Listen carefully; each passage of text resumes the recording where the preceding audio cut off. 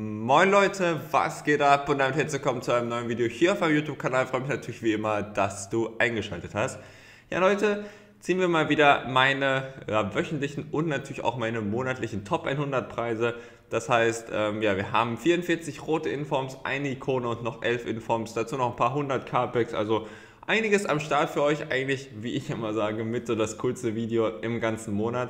Und ich muss auch ehrlicherweise zugeben, wahrscheinlich erstmal auch eines der letzten Videos, erstmal, wo ich in die monatliche Top 100 komme, denn ähm, ich werde ja jetzt diesmal wirklich nicht äh, im nächsten Monat spielen, zumindest nicht alle fünf Wochen, vielleicht die eine oder andere, also jetzt noch die erste vielleicht, aber danach bin ich immer auf ähm, ja, halt einigen äh, Turnieren oder so und so weiter und so fort. Ihr wisst ja auch, dass der Monat Februar äh, ein Qualifikationsmonat war. Ähm, ihr habt leider noch nicht die letzten zehn Spiele gesehen, die werde ich euch wahrscheinlich irgendwann nochmal im Laufe der nächsten Woche zeigen. Ähm, aber ich habe das einfach unter der Woche leider nicht wirklich hingekriegt, denn ich war noch auf ja, halt anderen Terminen und so weiter und so fort. Und hier haben wir auf jeden Fall unser Team of the Week. Ähm, ich nehme das Ganze jetzt auch erst am Freitag auf. Das heißt, ihr seht zum Beispiel jetzt so ein Savic, hat ja vorher eine Price Range halt bis 400k. Habt ihr zum Beispiel als Beispiel, er hat zum Beispiel Julius gesehen, denke ich mal. Der hat ihn ja äh, gezogen aus einem Elite 3 Pack, der ist jetzt bei 460 so ungefähr. Wäre mir mal ganz cool, wenn wir den ziehen könnten. Der ist halt einiges wert und, und ist, glaube ich, nicht so schwierig zu ziehen. Und ansonsten hoffe ich natürlich, dass wir, wenn wir keinen von den ziehen, also wie ja, Quaresma als besten immerhin hier noch den guten Emre Can haben. Der wäre auch nochmal bei über 100k. Ansonsten schauen wir einfach mal. Suarez wäre natürlich überragend, aber naja, wir bleiben einfach mal realistisch bei den monatlichen, wie immer. Ja, möglichst Spieler mit einem sehr, sehr hohen Rating für die ganzen SBCs ich brauche wirklich eigentlich keinen, auch von den Icons oder so. Von daher will ich euch jetzt nicht irgendwie mad machen, wenn ich mich da jetzt nicht wahnsinnig drüber freue, weil ihr kennt alle mein Team. Wir holen aber einfach mal unsere Preise ab. Ich will ja gar nicht so lange drum rumreden. Platz 11 kam ich im Monat, ähm, es war ein bisschen ärgerlich. Ähm, ich wollte eigentlich unter die ersten 10 kommen und ihr werdet es dann sehen in den ganzen Spielen. Ich kam zumindest äh, ja, auf Platz 11 ist es natürlich auch sehr gut. Wir kriegen unser Top 100 Trikots, bin dafür natürlich auch noch qualifiziert und unser Top 100 Set. Und ansonsten hatte ich ein 39 zu 1. Das kann ich schon mal sagen. Ich habe Spiel 39 verloren ähm, und habe da sogar auch schon 2-0 geführt. Und deswegen muss ich sagen, war ich ein bisschen mad, dass ich halt nur in Anführungszeichen 39 Siege hatte, weil die 40 wären halt locker drin gewesen und dann wäre ich auch auf Platz 4 oder so monatlich gewesen. Ich kann es nochmal ähm, ganz kurz zeigen hier. 157 zu 3 hatte ich jetzt hier. Also es geht vollkommen in Ordnung. Ich glaube, Sarkul wird ja auch nicht teilnehmen. Viele von euch haben das ja auch mitbekommen, also werde ich schon mal auf Platz 10 vorrutschen. Und dann bin ich ja doch in der Top 10. Aber wie auch immer, ähm, wir werden jetzt mal hier schauen in den Shop und da seht ihr die ganzen Sets. Und ich würde sagen, wir starten einfach mal ganz normal klassisch mit den 100 K-Sets und arbeiten uns dann vor und schauen mal, ob wir denn vielleicht in 100k-Sets irgendeinen von den neuen Upgrades ziehen. Es gibt ja auch ein paar halt Upgrades, ähm, ja, die ich extrem cool finde, weil es halt auch noch Schalke-Spieler sind. Also sowas wie Naldo oder Bolo in Rot müssen natürlich heute drin sein. Das habe ich ja noch gar nicht erwähnt. Ansonsten ähm, ja, haben wir Hövedes, der hatte ja auch noch gestern Geburtstag, spielt ja aktuell nicht bei uns, aber mal schauen, was die Zukunft noch so bringt. Wir haben ja noch Ashley Young, die werden wahrscheinlich alle jetzt nichts wert sein. Ich speichere einfach mal so die, so die 82er, die sind ganz gut, auch für die ähm, Prime-Icons, äh, Leihspieler, die kosten ja eigentlich relativ wenig, also nur ein 82er Rating, dafür kann ich jetzt alle mal mitnehmen, da kann ich die später mal machen. Vor allem sowas so wie Maradona, den werde ich nämlich vielleicht in der äh, Weekend League einfach mal spielen. Und dann schauen wir mal, was das nächste Set uns so bringt. Spanien ZM, Chelsea Fabregas. Hat der ein Upgrade bekommen? Ne, hat er nicht. 86er Rating ist aber gut, den habe ich schon als Duplikat. Ihr wisst ja, ich habe extrem viele Spieler ähm, da einfach investiert bei dem äh, chinesischen Neujahr. Die kann ich auch alle mal speichern, 81er Rating. Harit Upgrade, das ist natürlich mega nice. Den habe ich jetzt schon mal als First Owner. Ähm, ich habe erst am Mittwoch noch mit ihm über seine Karte gesprochen. Damals ja noch diese Silberkarte. Ich kann euch hier ganz kurz mal ein ähm, Bild ein, einblenden. Ähm, und er meint halt, dass er hofft, dass er halt auch ein Upgrade kriegt. Und Diekmeyer, den werde ich auch auf jeden Fall mal behalten. Ansonsten Cesc Fabregas, den packe ich auf den Transferstapel. Also auf jeden Fall richtig nice. Und ich würde sagen, direkt nächstes 100k-Set hinterher. dann schauen wir mal. Das wird eine Man of the Match Karte. Brasilien, ZDM, alles dieser Fred, ne? Hätte ja sogar auch Griesmann oder sowas sein können. Schade. Ich meine, Fred, immerhin eine Special Card, immerhin eine Man of the Match Card, immerhin sowas ähnliches wie eine Ikone. Weil, wegen den Flaggen halt, also nicht wegen den Flaggen, sondern wegen diesen, wie man es auch immer nennt, Schnuppen. Ähm, und ja, Draxler hat auch kein Upgrade bekommen, soweit ich weiß. Adoris, paar 83er, das Pack war aber auf jeden Fall das Beste. Ähm, Fred wird nur 10 bis 15k wert sein, brauche ich gar nicht so großartig nachschauen. Ansonsten schauen wir mal, ob wir ein Upgrade oder so drin haben. Ich weiß es gar nicht. Moi könnte gut ein Upgrade sein. Und nochmal Harid. Ich glaube, ganz ehrlich, bei dem ersten Mal dachte ich mir noch, ey, yo, cool. Ähm, und jetzt wird er in den nächsten 53.100 K-Sets, die ich öffnen werde, das ist ein so ein Spieler, der ist immer drin. Ich glaube, dass ihr wisst, was ich meine. Ähm, also wenn man jetzt da mal ein bisschen drauf achtet, ich denke mir, der wird jetzt in jedem zweiten Pack drin sein. Aber egal, Harid ähm, geht ja auf jeden Fall unnormal ab und von daher bin ich richtig happy, dass der jetzt plus 6 nach oben äh, bekommen hat. Und ja, wir haben jetzt noch 11 Informs. Ähm, wie gesagt, Savic wäre überragend. Das wäre einer der wertvollsten Spieler, die ich jemals hatte. Damit wäre ich voll zufrieden. Auf jeden Fall bitte nicht Spanien oder Portugal als Flagge. Mit allem anderen wäre ich noch ganz zufrieden. Oder wenigstens dann einen Emre Can über 100k. Aber naja, wir schauen mal, wir machen es einfach auf und danach, ganz ehrlich, fast noch viel wichtiger sind die Monatsrewards. Ähm, und wir gucken einfach mal, wen wir hier ziehen. Und wir ziehen Savic. Jawohl, Savic.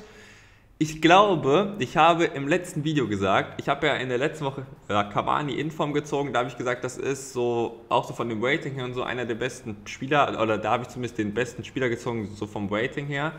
Ähm, ich glaube, das mit den 400k ist mein zweitbester Spieler in ganz FIFA 18. Mein bester war, glaube ich, Aubameyang von Arsenal, der war 500k wert. Ansonsten, ich glaube, ich habe nie einen Inform gezogen über 200, 300k in diesen Sets. Savic ist auf jeden Fall ein Goldjunge. Ähm, Im Schalke-Trikot, ich werde ihn natürlich direkt ja, verkaufen, denn ähm, er hat zwar extrem starke Werte, muss ich sagen, aber ja, gegen Viera, gegen Hulit macht auch ein Savic zumindest noch nichts. Wir warten mal auf seine Team of the Season Karte, aber ähm, erstmal will ich ihn zumindest wahrscheinlich nicht spielen. Aber wir schauen mal, vielleicht ist ja noch Emre Can drin. Das wäre einfach ganz nice. Asenjo ist drin.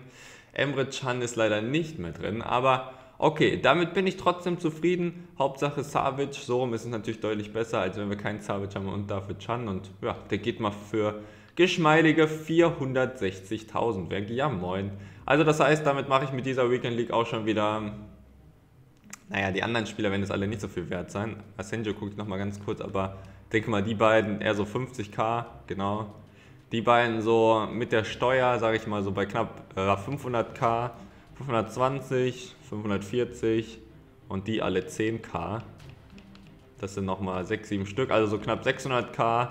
Ja, so 850, wenn es gut läuft, 900k mache ich mit der Weekend League. Das ist auf jeden Fall extrem nice. Da kann man wieder ein bisschen sparen auf die Prime R9 und ja, Prime Hullet SBC. Das mache ich ja. Ich warte eigentlich nur noch auf die beiden. Und übrigens, ich will es jetzt schon mal sagen in einem Video, das ihr schon mal äh, gehört habt. Hm, ich habe die grandiose Idee gehört oder ähm, also das ist jetzt überhaupt nichts offizielles, das ist, das ist halt einfach nur das, was wir mal so in den Raum geworfen haben. Und ihr könnt mir gerne mal eure Meinung dazu in den Kommentaren schreiben. Und zwar dachten wir uns, dass man für R9 Prime vielleicht 11 Ikonen abgeben muss, denn wenn man das so hochrechnet, eine Ikone kostet so 4 bis 500.000, dann machen die vielleicht halt ein Rating von, weiß nicht, 88, 89, dass man nicht nur diese 85er Icons ähm, halt da reingeben kann und dann hat man praktisch so für den besten Spieler des Spielzugs dann halt 11 von den anderen besten abgeben. Ich fand das gar nicht so blöd, denn wenn man das sich sonst mal anschaut, ansonsten bräuchte man einen, weiß ich nicht, 91er Rating mit einer Ikone und einen 92er Rating mit einer Ikone. Wie soll das großartig gehen? Ähm, es war zumindest mal, ich will es einfach mal so in den in das Video hier halt reinwerfen und ihr könnt mir dazu gerne mal eure Meinung in die Kommentare schreiben. Ich finde das zumindest gar nicht so blöd und vom Preis her kommt das einigermaßen hin und dann muss man vielleicht noch ein, zwei andere äh, Challenges machen. Aber egal, äh, wir ziehen auf jeden Fall heute unsere nächste Ikone. Die werde ich natürlich sehr wahrscheinlich eh wieder eintauschen und wir schauen einfach mal. Ähm, wir lassen noch mal ganz kurz Revue passieren und dann ziehe ich auch das Pack versprochen. In der ersten Woche, äh, im ersten Monat hatten wir, glaube ich, Reikart, im zweiten, glaube ich, der Sai, im dritten Ronaldinho und im vierten Hernandez. Und jetzt kommt der fünfte. Oder habe ich eins vergessen? Ich weiß es eigentlich schon gar nicht mehr. Ich glaube, so war es. Also ich habe zumindest diese vier Ikonen einmal ähm, ja, gezogen. Und ich hoffe natürlich auf den roten Naldo oder den roten Embolo und ansonsten ein paar 90er. Roter Cristiano Ronaldo wäre auch ganz nett, aber was soll ich mit dem? Aber egal, wir öffnen es einfach mal, come on. Wir schauen mal, was drin ist. Bitte nicht Schmeichel oder Littmann. Dann wäre ich schon voll zufrieden. Come on. Rui Costa oder Deko. Ah, Deko 87er. Der Kollege sagt jetzt hier einmal Hallo und dann wandert er direkt in den Prime-Icon SPC.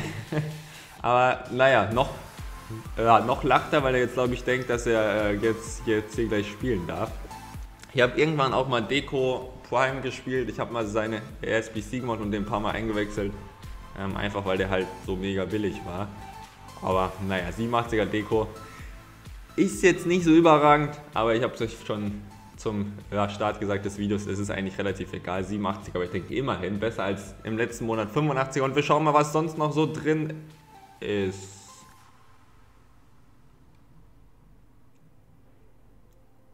Wo ist mein Naldo?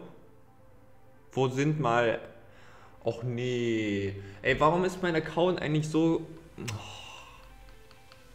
Ich meine, ich erwarte ja nie viel, ne? Okay, immerhin. EA, immerhin, sonst wäre ich jetzt richtig böse gewesen. Ne? Ich wäre richtig böse gewesen, ich sag's euch. Aber was ist das denn schon wieder hier? Das ist ein Top 100 Pack, das ist nicht Elite 2 oder so, wo man 12 Spieler mal kriegt. Naja, wir haben ein paar 86er. Ähm, ja, was soll ich da großartig drum rumreden? Ähm, ich hatte halt auf ein paar High-Rated Spieler gehofft für die SBCs. Wurde leider nichts. Ähm, ja, eigentlich kann ich davon nichts gebrauchen. Immer den roten Embolo haben wir. Auf der zweiten Seite habe ich bei allen Spielern fast gar nichts gesehen. Da war eigentlich immer Birki als bester. Von daher erwarte ich jetzt auch nicht mehr so viel. Und dann ist unser bester Spieler ein 86er. Ja, hab's euch gesagt. Ähm, ja, ich sag mal so, wir hatten in den wöchentlichen, es war gut in den wöchentlichen mit dem Savage. Deswegen will ich mich jetzt auch nicht mega beschweren. Wir haben immerhin den roten Breel. Aber das monatliche Pack war jetzt zum zweiten Mal nacheinander ziemlich katastrophal. Egal, ähm, es ist wie es ist. Schade, Deko und hier den komischen Birki, den will ich hier direkt schon mal weghaben. Ähm, und naja, ich hoffe natürlich, ihr hattet ein bisschen mehr Glück und euch hat das Video wie immer trotzdem gefallen, dann würde ich mich auf jeden Fall über einen Daumen nach oben freuen. Ich bin raus, bis zum nächsten Video, macht's gut Leute, haut rein und ciao.